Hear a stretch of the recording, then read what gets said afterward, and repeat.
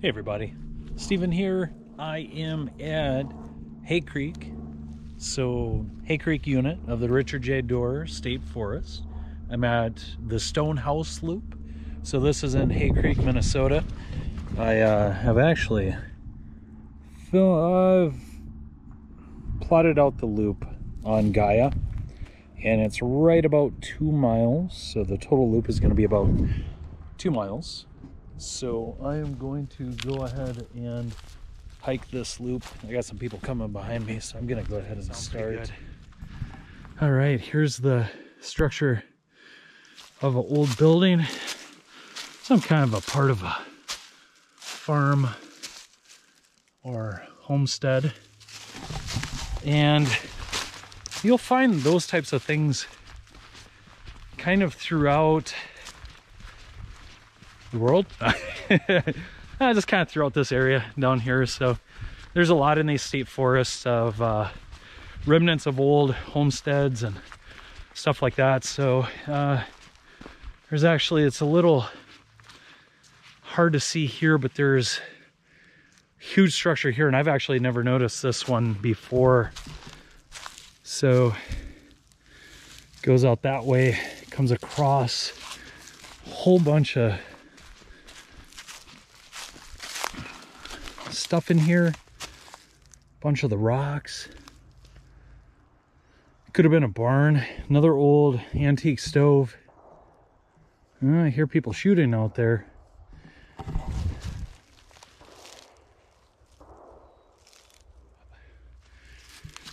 Might be turkey season. Somebody left their hat. And yeah, earmuffs. Kind of a clearing there. That'd be a pretty good spot to camp. So you can camp in these forests. Dispersed camp. Though, this is my uh, favorite kind of forest. Pine forests.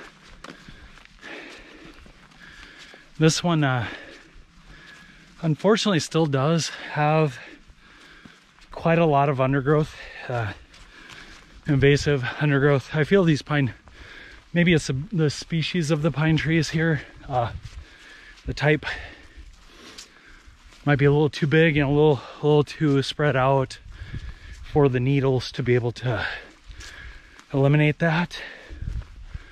But this is not the trail, but let's let's check this out. Cause I I feel that a lot of this area would really be great for dispersed camping. Oh. All right, we're coming up on something here, so let's check this out.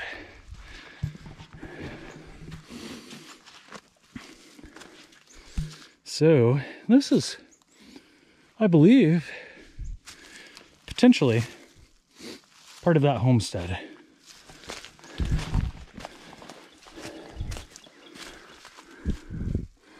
All right, so definitely building there of some sort. This all collapsed. At some point that's gonna completely fall down. I don't know how long in this area, don't know how long they've been doing that style of structure. So to my eyes, doesn't seem that old. That part of the structure at least maybe it was added on, you know. The all the stonework in there definitely looks old, but the that stuff is like poured concrete, so don't know. I don't know.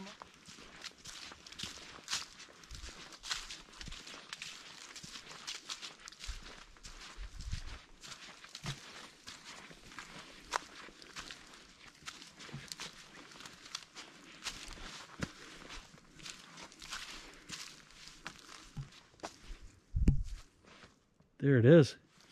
All right, the trail does wrap around to it, but we're uh, gonna go up here first.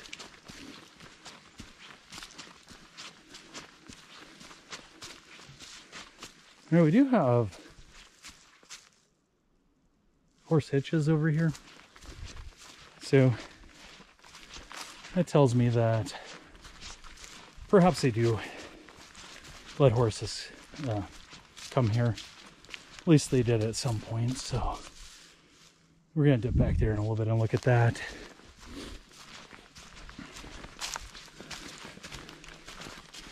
This here, interesting spot way at the end.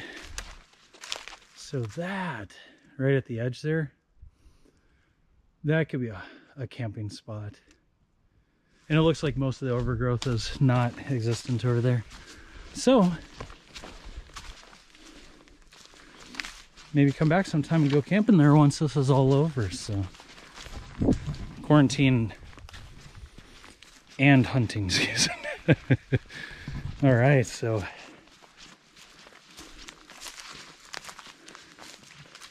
we've got ow, thorny. Got an old staircase right there, wooden. And these, not sure what exactly these are. Parts of perhaps this building here. And in the back, ah, there's a bunch of junk under there because you should dispose of your garbage in historical areas. That's just kind of what you should do. That's what I do. Um, and then this, not sure exactly what this was. The bench. Looks like there might have been a second floor up there. Maybe it was their sauna, who knows. We got a old kind of picnic table there, one like this one. This one is ruined so not sure how that one got ruined, but looks like this one has replaced it.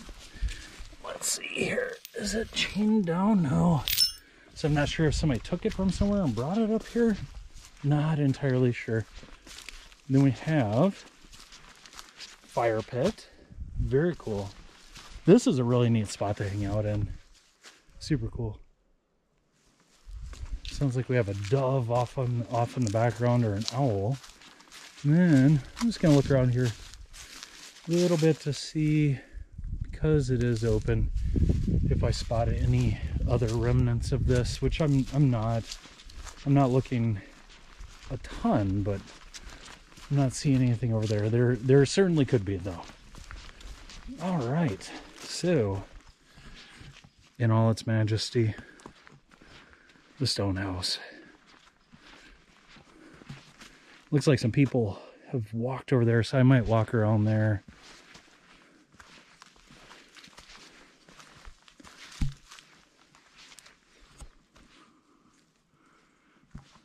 So cool.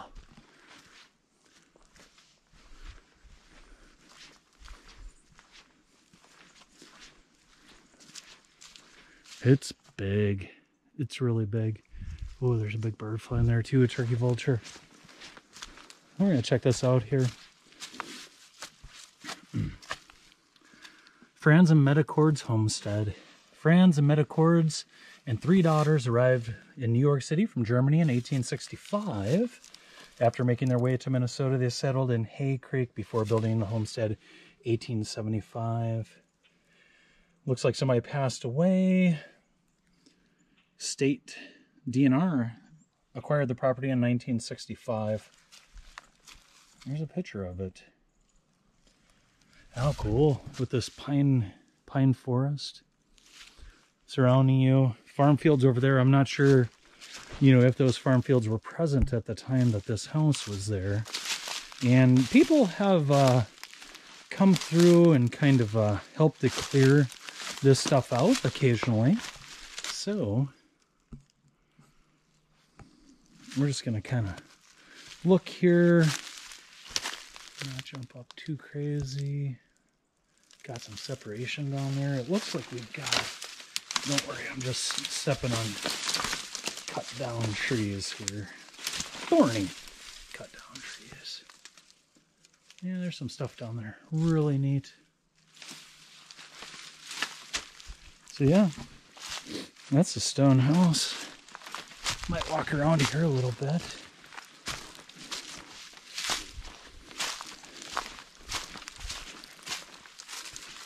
That's what the window seals look like. Oh, and check out where they set all the pieces of wood and the stone up there. And the roundish window up there. Really cool.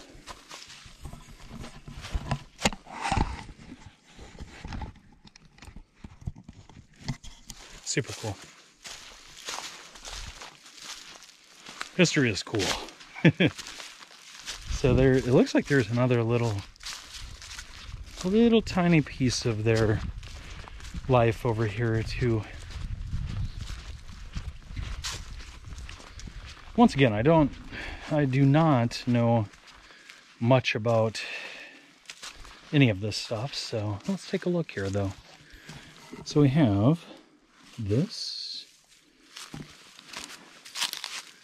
I am guessing this is a well. That's my guess.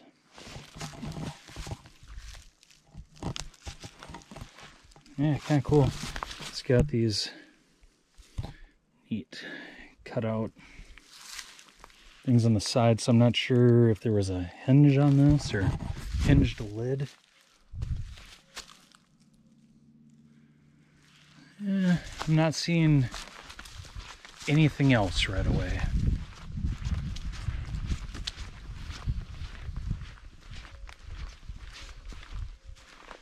Uh, old bucket over there. Oh, here we go. This is something that you wouldn't see during the summertime, but since it's spring, ah, check this out. Yeah. I would guess that they were probably farmers. Cool. Old, old implement there, old farm equipment.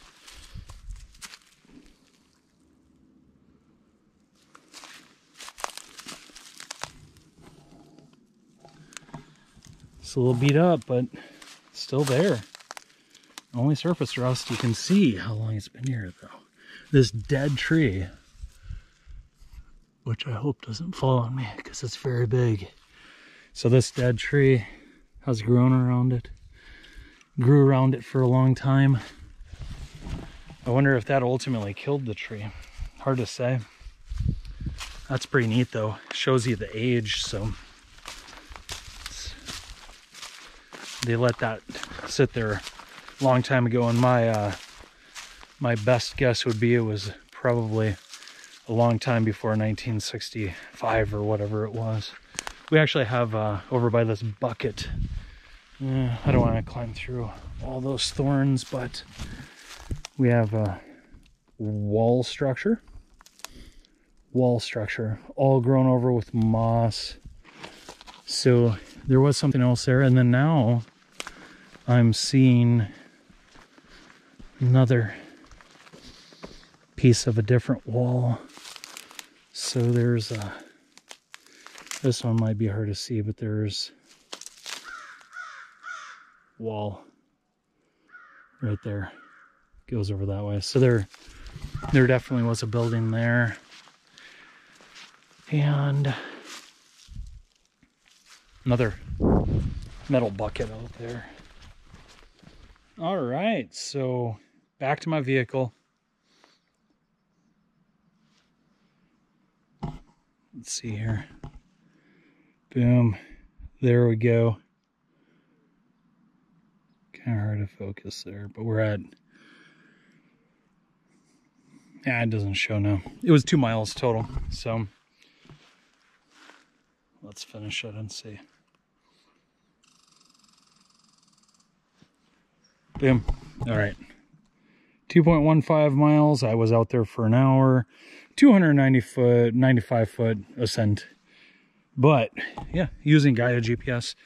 I should talk about that for a moment. Gaia is the best. So I've used a lot of apps. I used to use Gaia on Android, and for a while it just was having a lot of issues before they kind of revamped the whole program. So for a while I jumped over to AllTrails.